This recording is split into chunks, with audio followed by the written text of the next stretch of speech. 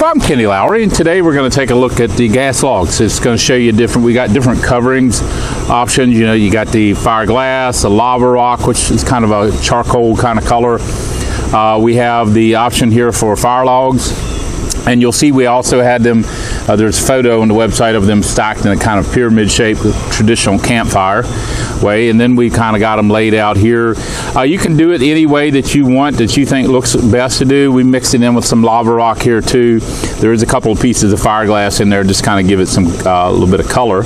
So there's no wrong way to do it. It's whatever that you like. Just do keep in mind that you don't want to block the holes on the fire pit on the ring itself that would to stop the uh, gas from coming through. You want to make sure that, that those holes for the gas to come out of are, are not blocked. Right now, I'll grab the camera and take a close up look. Just wanted to show you this optional fire log setup here.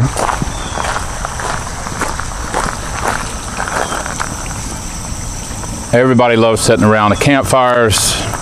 Probably some of my fondest memories. Uh, it's just something that everybody enjoys to do. Just kind of sit out beside a nice warm fire and read a book or glass of wine or socialize, whatever it is you want to do. Uh, fire seems to uh, to add to the uh, the ambiance of it.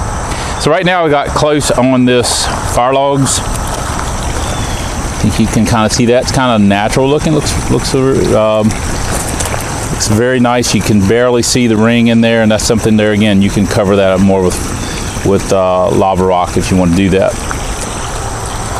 As always, if you have any questions about any of our products, you can reach us at 540-948-2239 or email us boulderfountain at gmail.com.